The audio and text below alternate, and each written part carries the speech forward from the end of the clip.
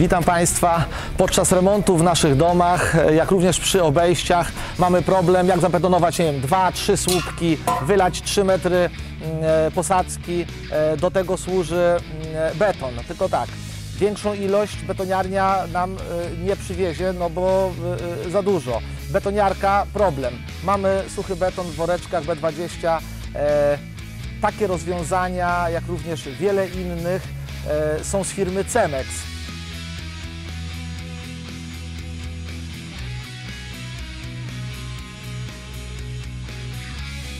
Czwartek 22 czerwca na nasze śniadanie zaprosiliśmy równie, również firmę e, Blue Delphin. E, Będą prezentować swoją najnowszą serię profesjonalnych wałków e, malarskich, serię 330, e, jak również wiele nowości, taśmy do odcięcia, folie malarskie, wiele akcesoriów, które są nam bardzo potrzebne przy remontach.